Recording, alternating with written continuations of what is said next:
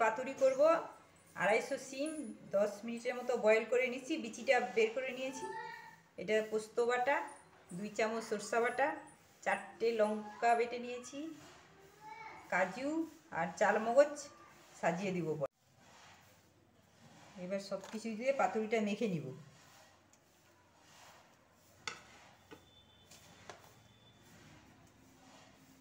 কাঁচা লঙ্কা বাটা দিলাম। সর্ষে বাটা দিলাম। পোস্ত বাটা দিলাম।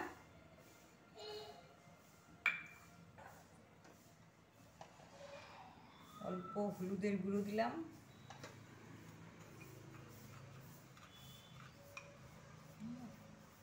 ছোট চামচে অল্প লবণ দিলাম। অল্প মিষ্টি দিলাম।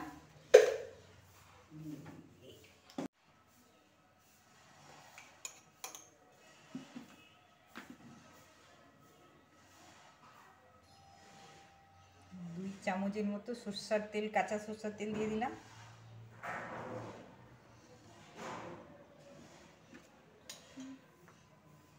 এবার আমি মেখে নিব।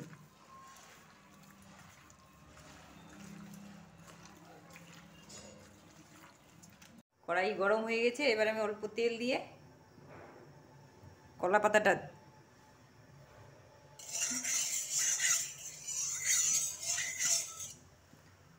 হালকা আছে করতে হবে।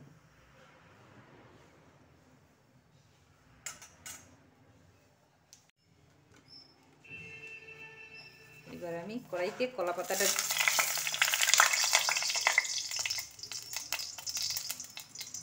দিয়ে পাতুরিটা এবার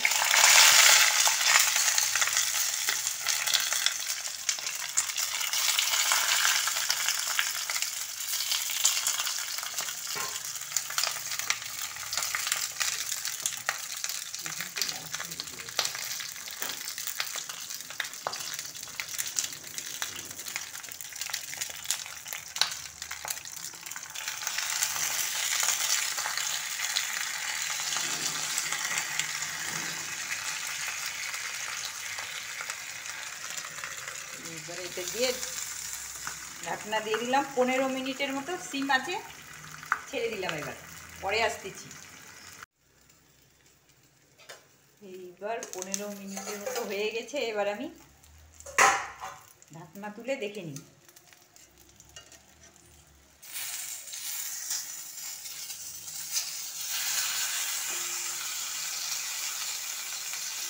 এবার হয়ে গেছে।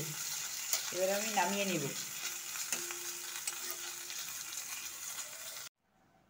এবার আমার সিমের পাতুরি হয়ে গেছে। এবার চাল মগজ অল্প উপরে দিয়ে দিচ্ছি। আর কয়েকটা কাজু।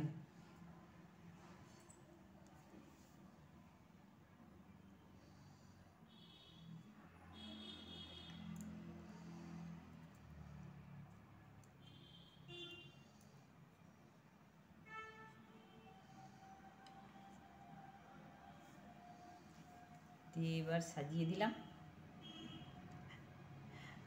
আপনাদের পছন্দ হলে লাইক শেয়ার কমেন্ট সাবস্ক্রাইব অবশ্যই করবেন।